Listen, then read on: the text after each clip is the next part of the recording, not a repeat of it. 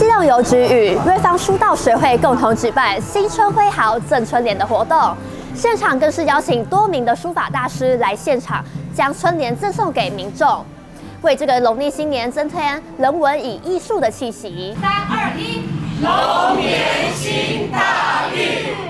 农历春节即将到来，办活动来贺新年。基隆邮局结合瑞芳书道学会，举办现场挥毫送春联，吸引许多民众来到现场，请书法大师刻制化专属于自己的春联。无啦，安尼较闹热看，较较较闹热啦。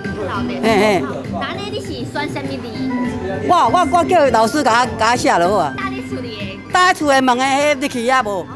哎呀，快快到嘞！那个新年快乐，你把它看哦，哎，忙着到嘞嘞。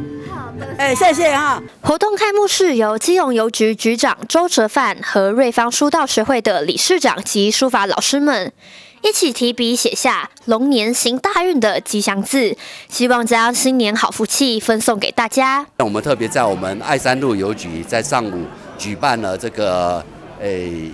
由爱永续传情意，新春挥毫赠春联的活动。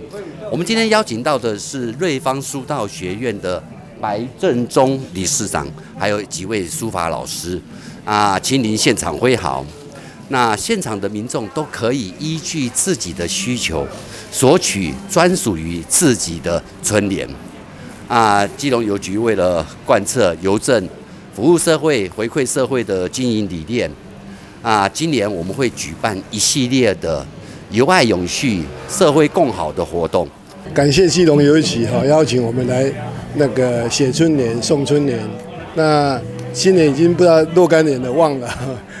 一直以来过年之前都会有这个活动哦。那也祝福大家龙年行大运啊！也谢谢基隆邮局，让瑞芳书道协会有这个机会来这里为大家服务。